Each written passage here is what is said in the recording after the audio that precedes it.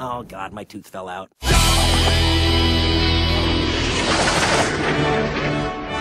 Super News presents the Master Debaters. Tonight, marijuana and crystal meth will master debate about drugs. Three, two, one, master debate! I guess I'll start by saying that I think there are good drugs and bad drugs, and it's time we started differentiating between the two. Exactly. We're good drugs, man. So let's stop the insanity, you know, and finally legalize crystal meth. That's a horrible idea. Well, no, but, but for medical reasons, of course. Medical meth? Yeah, man. If the doctors say it helps cure gout, then why not let Grandma gack out on some tweak, you know? Okay, no doctor has ever said that. So, shh, did you hear that? Do you hear that right now? Oh my God! What is that? What is that?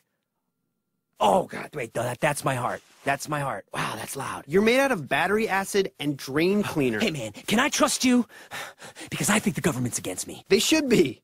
The CIA has an army of spies watching me 24-7, and that's why I hide in the bushes in front of my house every night with a steak knife.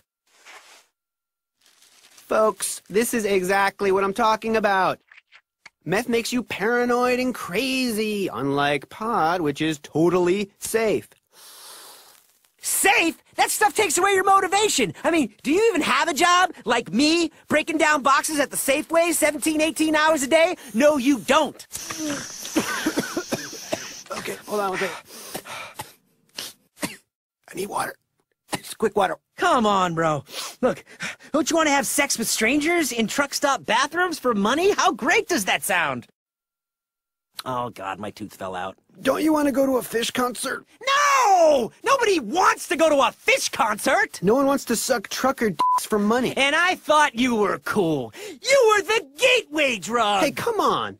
I'm still illegal on a federal level. See, okay, the states made me legal, but the federal government and the EPA were like, wait, no, the DEA the was. CIA okay, was is behind everything! Federal, Them and the Masons! No, and it's Look, all okay, connected, I'll be honest, bro! I don't know and they're always it, watching us, so there the ain't nothing we can the- do because they know law says that- everything. You get I- what I'm saying?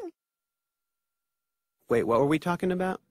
I need to borrow $25,000 from you or someone you know. Why, why do you. Can you make that happen? No, I absolutely not. I need you to burn down my sister-in-law's house tonight. What? Tonight. And it's gotta be tonight. Why, why does it have to be tonight? And I can't explain anything else to you. okay, I should just let you talk because Well, you're sort of look, digging your own grave Are you here. gonna help me or not? I think I won. Yeah, pretty sure I won.